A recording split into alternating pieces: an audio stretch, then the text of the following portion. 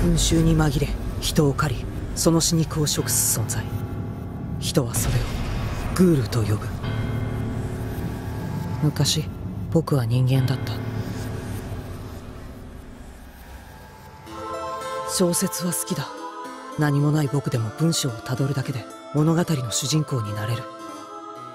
現実は違う。生きるために他者を食らう。お互いが自己の存在を肯定する。この世界。間違っている。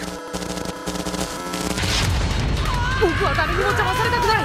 僕の平和を奪われたくない。僕を一人にするな。それだけなんだ。